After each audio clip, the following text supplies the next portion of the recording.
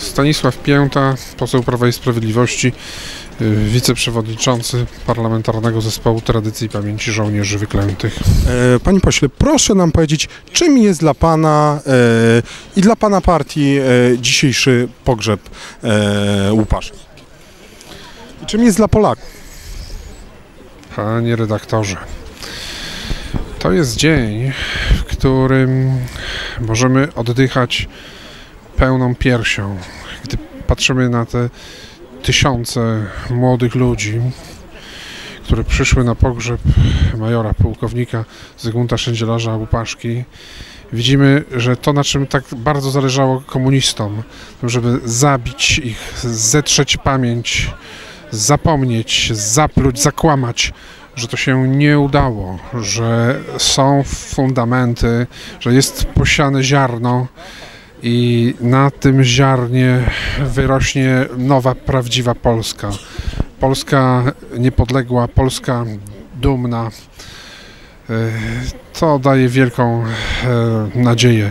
Na tym granitowym fundamencie, który położyli żołnierze antykomunistycznego podziemia zbrojnego, zbudujemy normalne, uczciwe, silne i dumne państwo. Państwo, które nie będzie przed y, nikim klęczało. Państwo, które nikomu nie będzie się kłaniało. Państwo, które zapewni godne życie.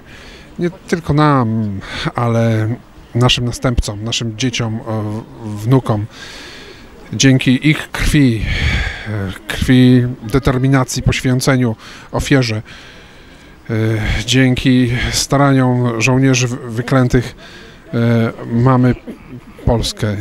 I ta Polska będzie trwać i będzie się umacniać i będzie się rozwijać. Po prostu no, serce, serce rośnie.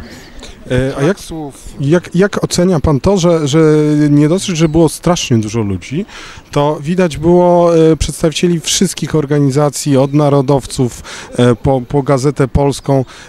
Czy to jest prognostyk na to, że może te wszystkie nasze podziały są czymś takim bardziej wydumanym i w obliczu tego, tego bohatera powinniśmy się zastanowić, czy, czy nie, nie, nie powinniśmy się e, jakoś pogodzić i zacząć współpracować. Myślę, że jesteśmy pogodzeni, współpracujemy. Nie ma żadnych e, powodów, dla których Polacy mieliby być e, podzieleni. Polacy, nie tylko być Polakiem trzeba mówić po polsku, trzeba jeszcze myśleć i czuć po polsku. Polacy, którzy myślą i czują po polsku, nie mają powodów, by się e, dzielić.